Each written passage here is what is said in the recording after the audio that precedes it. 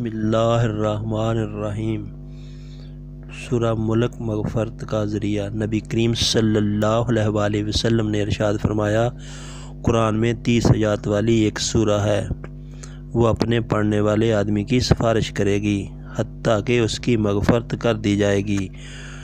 वो सूरा तबारकल्लाजी बेयाद बेयाद मुल्क है।